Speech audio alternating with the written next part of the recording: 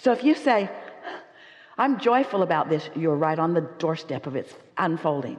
If you say, I'm pensive about it, or I'm worried about it, or I'm guilty about it, or I'm lonely about it, or I'm disappointed about it, then you're far. But not in terms of distance or time, in terms of vibration. And the thing, the thing about understanding that you're only vibrationally far away from it, only emotionally far away from it, is that you can go to sleep at night and oh, hear this.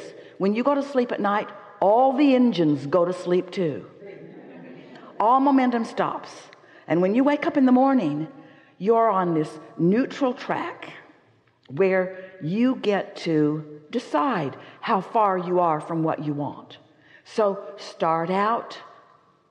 Cautiously isn't the right word. Deliberately is a better word.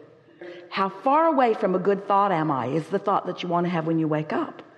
Because if you wake up and you start complaining right away about what went wrong yesterday, then you're far away again.